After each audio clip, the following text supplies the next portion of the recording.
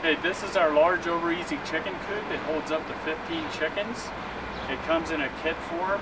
All the pieces and parts are put together for you already. The nesting box is assembled, latches are on, the hinges are on, the windows are installed, all the trim is installed, the corner pieces are installed, all the trim around the roof, that's all installed. Uh, the doors are installed.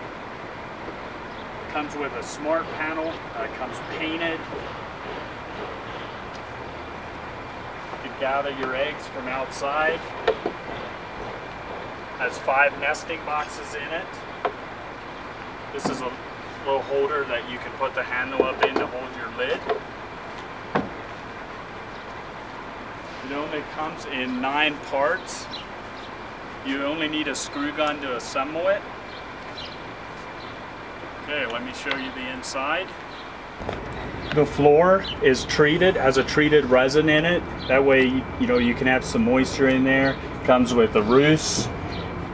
Comes with silver on the ceiling to keep the coop cooler in the summer.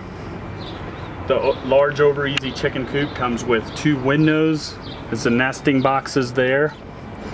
And to clean out the chicken coop, you can just get a bucket or a little tarp or something and put right up against here, take a scraper and just scrape it out on into your bucket. And then you can clean it out maybe every six months with water. Just open the chicken door, take a hose and just spray it out the other side. It comes with a vent in each end to keep it cooler as well. And the windows do open and close and they have screens I recommend that you maybe put a wire mesh over it uh, to keep all the small animals out. It's not guaranteed that it'll keep the animals out. And it also comes with a chicken ramp and a latch to hold the door open. Take the ramp, slide it out, you can hook it right on here. Your chickens can go in and out of there. You can close the door even if the ramp is on has locks on it that you can lock the doors if you want.